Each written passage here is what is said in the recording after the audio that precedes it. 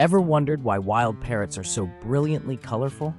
Their dazzling plumage isn't just for show, it's a masterclass in nature's engineering. Parrots owe their reds and yellows to unique pigments called psittacofulvins, which are found only in their feathers. These pigments are produced by the parrots themselves, a rare trait in the bird world. But the real magic happens with their blues and greens.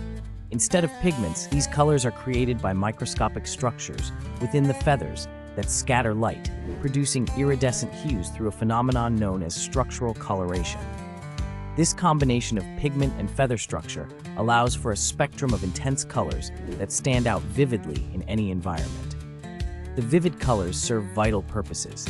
They help parrots recognize each other, attract mates, and signal social status within flocks. In dense forests and bright savannas, these colors also provide camouflage among flowers, fruits, and leaves. Parrot's vibrant appearance is a stunning adaptation, blending survival, communication, and natural artistry in every feather.